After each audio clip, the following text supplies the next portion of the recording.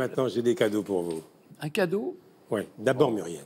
Ah, En 1993, en mars, je suis à Saint-Étienne, oui, je m'en souviens un- très bien. dans un magasin de chaussures. Je m'en souviens très bien. La chaussure Robin, la chaussure qui va loin. Soin de soin, toujours. Ta maman aimée, disparue en 2003, est là. Aimé Rimbaud. Oui. Nom de jeune Ton papa Rimbaud. Antoine est là. Il est parti Ouais. en 97. Et Tu vas Regarde. pas passer les images, mais ça va intéresser qui? Regarde. Si, si, Non. ça, va- Oh regarde. là ça va intéresser tout le monde. Regarde. Répondez-moi franchement. Est-ce que vous étiez contente de la scolarité de Muriel?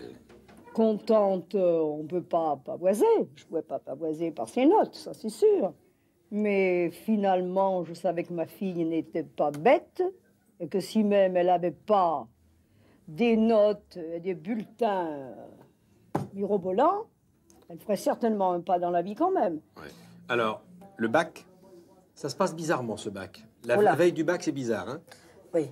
Hein Très bizarre, puisque le collège où j'étais n'était pas au puits, mais on est tous partis en car. J'étais dans une école mixte, si on veut. Nous, on était, il y avait 32 garçons et on était deux filles dans la classe.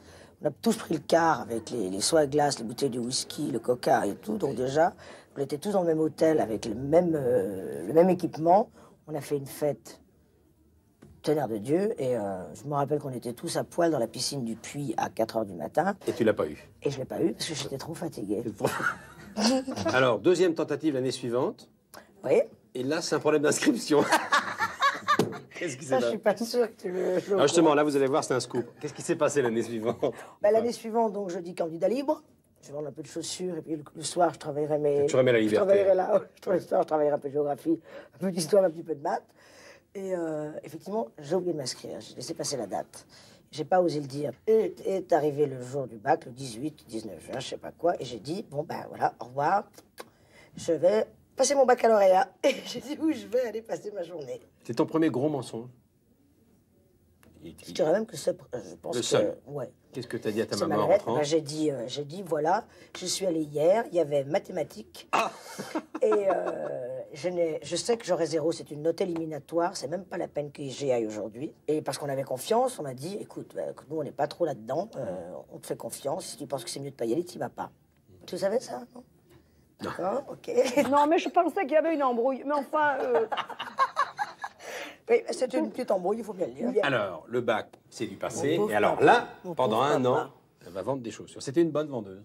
Ah oui, bien sûr. Oui, Oui, oui, dit-il. Non, non, non, non. c'est- Qu'est-ce que tu pas d'accord si, si, Oh, je dis, je dis une bonne vendeuse, mais euh, c'était une vendeuse euh, avec euh, une façon de vendre différente, quoi. Mais enfin. Elle avait un, un style à elle. Oui, Une bah, si vous m'en vendeuse. prenez trois, je vous ferai un prix. Une Pour un vendeuse peu- comique. Vous voyez un Ah, c'était la vendeuse comique. Alors, Muriel, c'est un souvenir très fort pour moi. C'est la carte Doux qui était là aussi. Et ça évoque tellement de choses. Voilà pourquoi à chaque fois que je suis à Saint-Étienne, je t'appelle. Oui, c'était tellement gentil. Mais c'est très particulier à ce métier, à ça. Alors, je sais pas, euh, les spectateurs, chez eux, si vous faites ça, de... enfin là, avec vous comme témoin, de revoir ça. Moi, je regarde pas des films, quoi. Donc, je revois mes parents euh, vivants, c'est pas rien, quoi. Ben oui. C'est pas rien. Mon père, tellement timide. Ah, oui. Vendeuse comique. Il a dit à crever déjà. Il a pourvu qu'on me repose pas une question. Ça t'a fait plaisir de revoir ça. Ça m'a fait plaisir, oui. C'était très gentil, bien sûr.